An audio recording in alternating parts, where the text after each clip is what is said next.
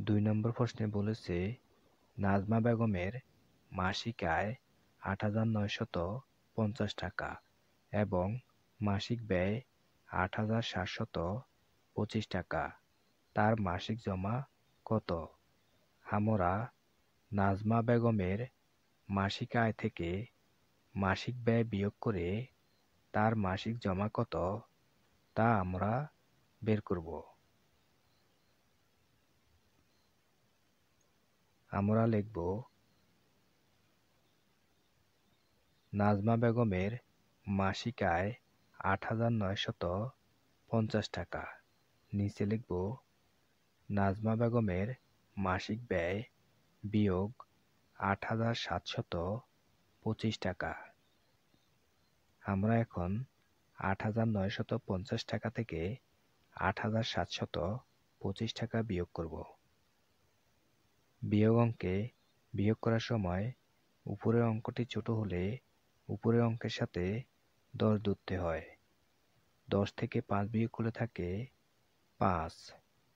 উপরের অঙ্কের সাথে দশ যোগ করায় পরবর্তী যে অঙ্কটি আমরা বিয়োগ করব, সেই অঙ্কের সাথে এক যোগ করতে হয়। দুইয়ের সাথে এক যোগ করলে হয় তিন। পাঁচ থেকে তিন বিয়োগ করলে থাকে দুই। নয় থেকে সাত বিয়োগ করলে থাকে দুই। দুই শত পঁচিশ টাকা। নাজমা বেগমের মাসিক জমা দুইশত পঁচিশ টাকা। উত্তর, নাজমা বেগমের মাসিক জমা দুইশত পঁচিশ টাকা।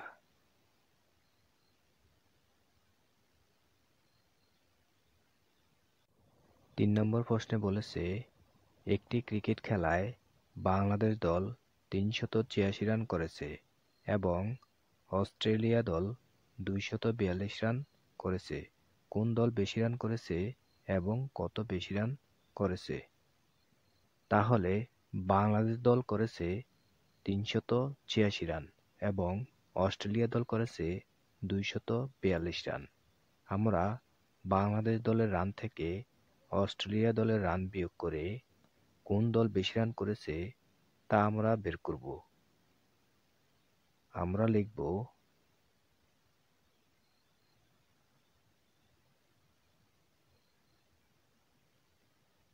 বাংলাদেশ দল করেছে তিনশত ছিয়াশি রান।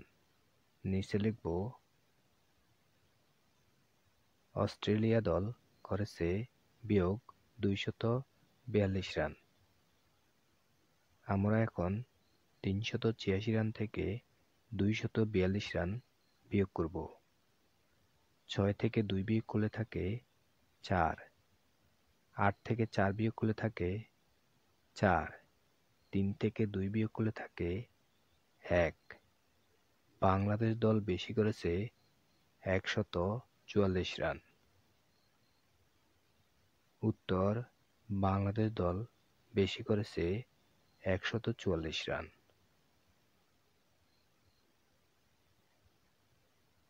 চার নম্বর প্রশ্নে বলেছে, সুমন সাহেব বইমেলায় প্রথম দিন তিন হাজার দুইশত ষাট টাকা এবং দ্বিতীয় দিন পাঁচ হাজার সাতশত পঁচাশি টাকার বই বিক্রি করেন। দ্বিতীয় দিন তিনি কত টাকা বেশি বিক্রি করেন? প্রশ্নে আমরা দেখতে পাই, সুমন সাহেব প্রথম দিন বই বিক্রি করেন তিন হাজার দুইশত ষাট টাকা এবং দ্বিতীয় দিন বই বিক্রি করেন পাঁচ হাজার সাতশত পঁচাশি টাকা। দ্বিতীয় দিনে সুমন সাহেব কত টাকা বেশি বিক্রি করেন, তা বের করতে হলে দ্বিতীয় দিনের বইয়ের বিক্রির টাকা থেকে প্রথম দিনের বইয়ের বিক্রির টাকা বিয়োগ করতে হবে। আমরা লিখতে পারি, সুমন সাহেব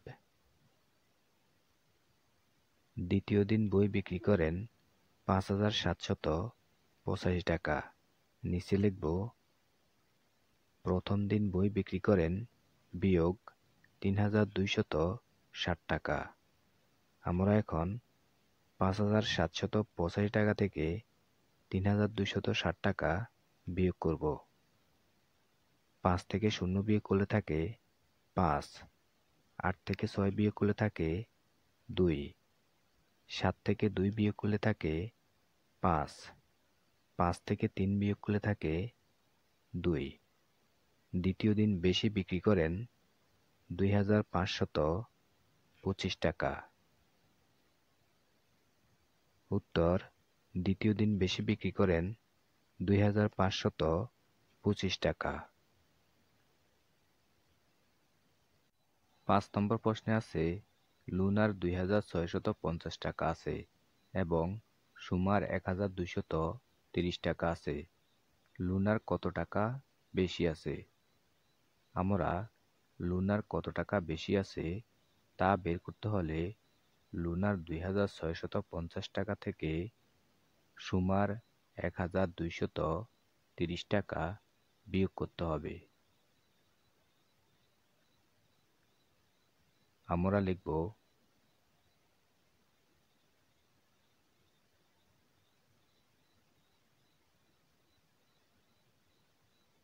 লুনার আছে দুই হাজার ছয়শত পঞ্চাশ টাকা। নিচে লিখব, সুমার আছে বিয়োগ এক হাজার দুইশত তিরিশ টাকা। আমরা এখন দুই হাজার ছয়শত পঞ্চাশ টাকা থেকে এক হাজার দুইশত তিরিশ টাকা বিয়োগ করব। শূন্য থেকে শূন্য বিয়োগ করলে থাকে শূন্য। পাঁচ থেকে তিন বিয়োগ করলে থাকে দুই, ছয় থেকে দুই বিয়োগ করলে থাকে চার, দুই থেকে এক বিয়োগ করলে থাকে এক। লুনার বেশি আছে এক হাজার চারশত বিশ টাকা। উত্তর, লুনার বেশি আছে এক হাজার চারশত বিশ টাকা। ছয় নম্বর প্রশ্নে বলেছে, একটি নার্সারিতে নয় শত আটাশিটি গোলাপের চারা গাছ ও ছয় শত বাহাত্তরটি জবা চারা গাছ আছে। ওই নার্সারিতে কতটি গোলাপের চারা গাছ বেশি আছে? প্রশ্নে আমরা দেখতে পাই, নার্সারিতে গোলাপের চারা গাছ আছে নয় শত আটাশিটি এবং জবা চারা গাছ আছে ছয় শত বাহাত্তরটি। নার্সারিতে কতটি গোলাপের চারা গাছ বেশি আছে তা বের করতে হলে গোলাপের চারা গাছ থেকে জবা চারা গাছ বিয়োগ করতে হবে। আমরা লিখতে পারি গোলাপের চারা গাছ আছে নয় শত আটাশিটি। নিচে লিখব জবা চারা গাছ আছে বিয়োগ ছয় শত বাহাত্তরটি। আমরা এখন নয় শত আটাশি থেকে ছয় শত বাহাত্তর বিয়োগ করব। আট থেকে দুই বিয়োগ করলে থাকে ছয়। আট থেকে সাত বিয়োগ করলে থাকে এক। নয় থেকে ছয় বিয়োগ করলে থাকে তিন। গোলাপের চারা গাছ বেশি আছে তিনশত ষোলোটি।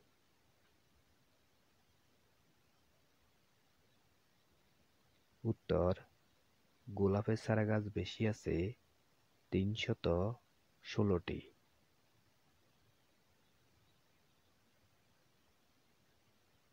সাত নম্বর প্রশ্নে আছে, আব্দুল করিম সাহেব এক হাজার দুইশত পঞ্চাশ টাকা নিয়ে বাজারে গেলেন।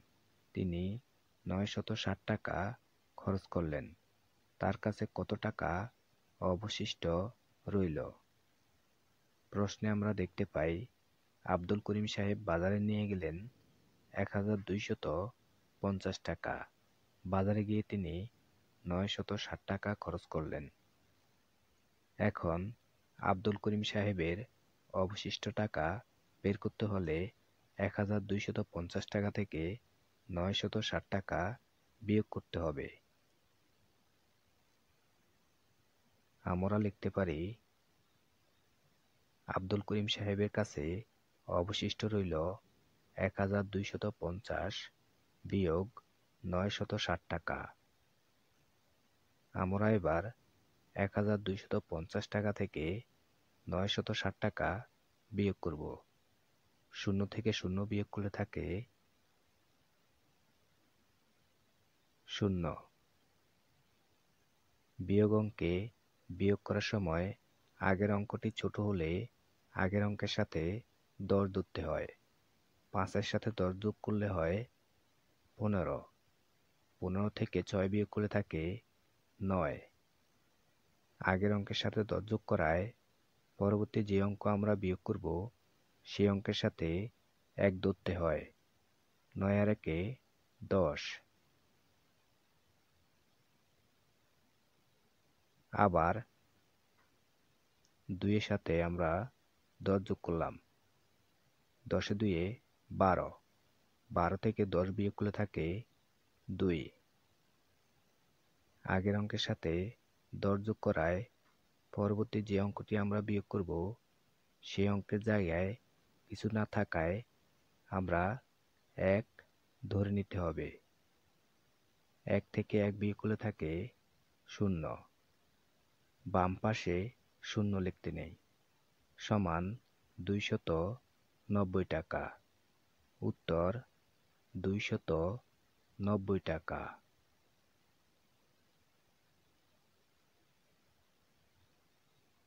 আট নম্বর প্রশ্নে আছে, চারশত পঁচাত্তর থেকে কোন সংখ্যা বিয়োগ করলে দুইশত পঞ্চাশ পাওয়া যাবে? প্রশ্নে, চারশত পঁচাত্তর হচ্ছে বিয়োজন। বিয়োজন থেকে যে সংখ্যাটি বিয়োগ করা হয়েছে, সেই সংখ্যাটি হচ্ছে বিয়োজ্য। এবং বিয়োজন থেকে বিয়োজ্য বিয়োগ করলে দুইশত পঞ্চাশ পাওয়া যাবে। তাহলে আমরা বুঝতে পারলাম দুইশত পঞ্চাশ হচ্ছে বিয়োগফল। মনে রাখতে হবে বিয়োগ অঙ্কে বিয়োজন থেকে বিয়োগফল বিয়োগ করে বিয়োজ্য বের করতে হয়।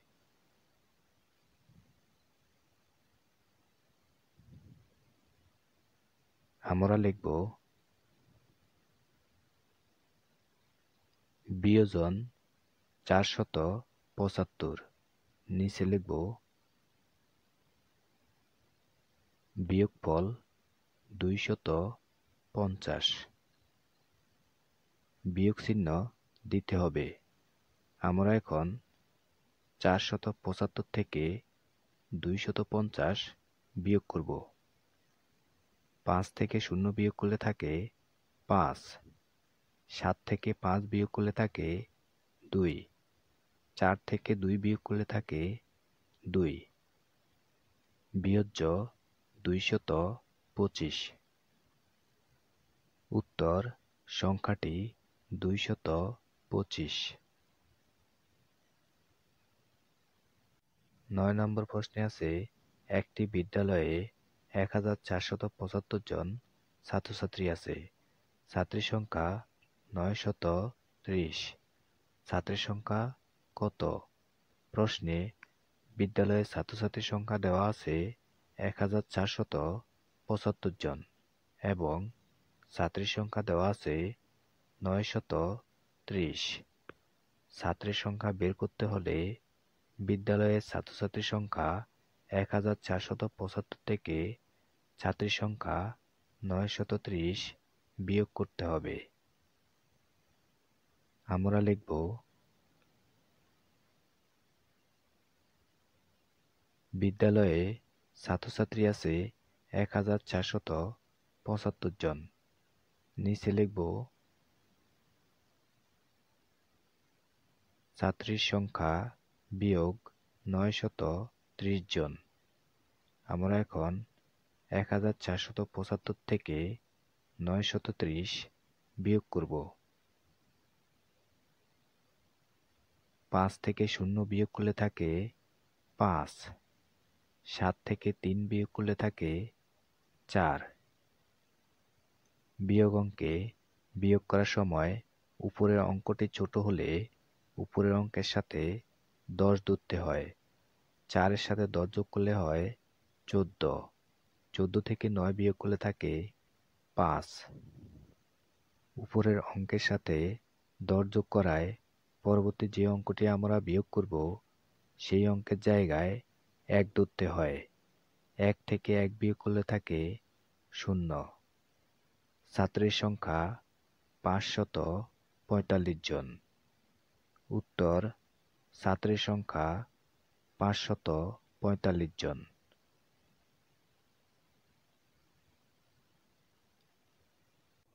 দশ নম্বর প্রশ্নে আছে, সৈয়দপুর গ্রামের জনসংখ্যা তিন হাজার আটশত ছিয়াত্তর, পুরুষের সংখ্যা এক হাজার নয়শত তেতাল্লিশ, নারীর সংখ্যা কত? নারীর সংখ্যা বের করতে হলে সৈয়দপুর গ্রামের জনসংখ্যা তিন হাজার আটশত ছিয়াত্তর থেকে পুরুষের সংখ্যা এক হাজার নয়শত তেতাল্লিশ বিয়োগ করতে হবে। আমরা লিখব সৈয়দপুর গ্রামের জনসংখ্যা তিন হাজার আটশত ছিয়াত্তর জন। নিচে লিখব পুরুষের সংখ্যা এক হাজার নয়শত তেতাল্লিশ জন। বিয়োগ চিহ্ন দিতে হবে। আমরা এখন তিন হাজার আটশত ছিয়াত্তর থেকে এক হাজার নয়শত তেতাল্লিশ বিয়োগ করব। ছয় থেকে তিন বিয়োগ করলে থাকে তিন। সাত থেকে চার বিয়োগ করলে থাকে তিন। বিয়োগ অঙ্কে বিয়োগ করার সময় উপরে অঙ্কটি ছোট হলে উপরে অঙ্কের সাথে দশ ধরতে হয়। আটের সাথে দশ যোগ করলে হয় আঠারো। আঠারো থেকে নয় বিয়োগ করলে থাকে নয়। উপরে অঙ্কের সাথে দশ ধরায় পরবর্তী যে অঙ্কটি আমরা বিয়োগ করব, সেই অঙ্কের সাথে এক ধরতে হয়। একের সাথে এক যোগ করলে হয় দুই। তিন থেকে দুই বিয়োগ করলে থাকে এক। নারীর সংখ্যা এক হাজার নয়শত তেত্রিশ জন। উত্তর, নারীর সংখ্যা এক হাজার নয়শত তেত্রিশ জন।